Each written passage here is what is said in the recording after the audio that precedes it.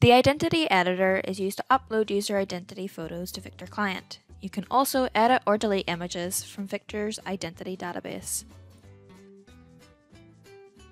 To access the Identity Editor, select the System Configuration icon.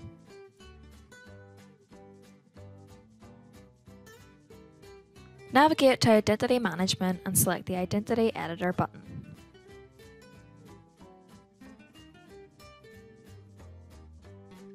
You can select any of the three menu options to add identity photos.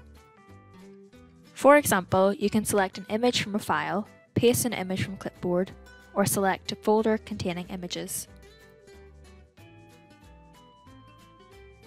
Once you have uploaded the required images, select the Save icon.